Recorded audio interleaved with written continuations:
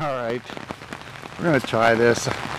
This camera isn't great at handheld. I have put a new GoPro on my Christmas list and I've been a good boy so hopefully Santa will get me one. But I wanted to show this to you. I got to where my canoe is and I just trenched it out a little wee bit here. Look at the water I got flowing down here. My little trench I just hoed is overwhelmed. And this is October 31st, the last day of October. Look at the water running down there.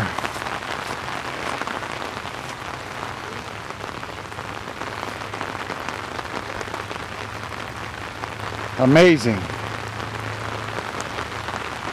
So now at least I have an idea where the water, I'm going to have to dig a bigger trench because my little trench just got completely overwhelmed. And the water is still pooling up here, so, but look at it, look at how, look how much is flowing there.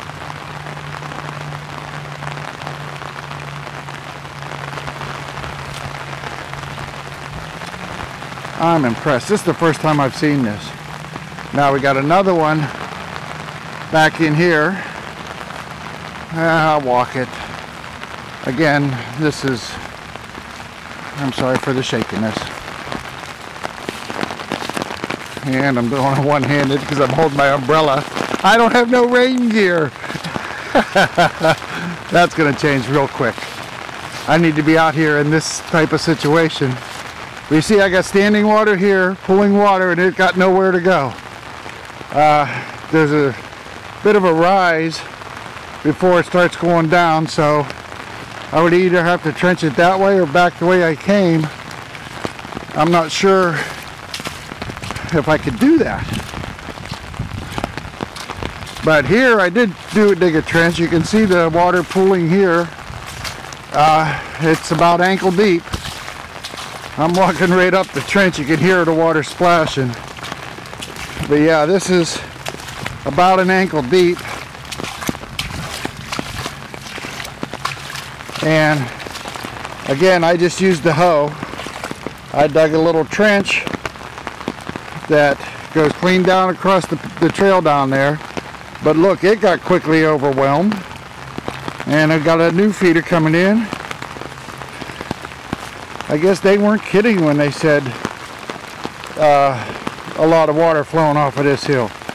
Well, you get the idea. This is one of them in there is my trench.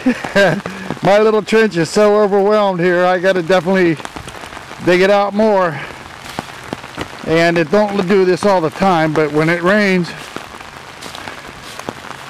you can see the, how much water is flowing down here. And here's my trail right here.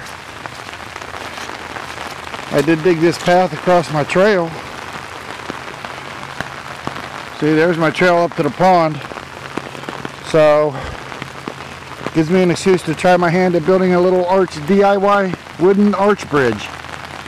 But I can't wait to see how much water comes off in the spring when the spring thaw comes.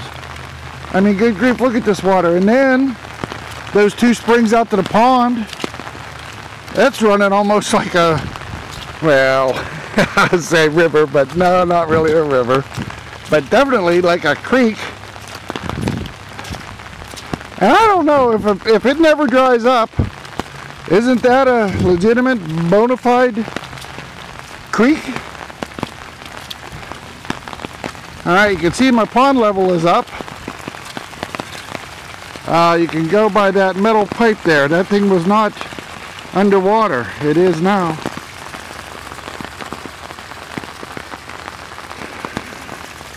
But let's go ahead and take a walk up here and check out these trenches I dug up here.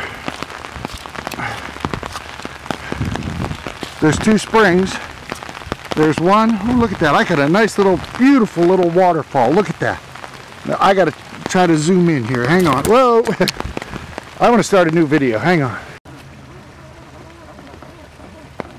I just can't get over the fact that I got a waterfall. I made a waterfall. That is just too cool. too cool.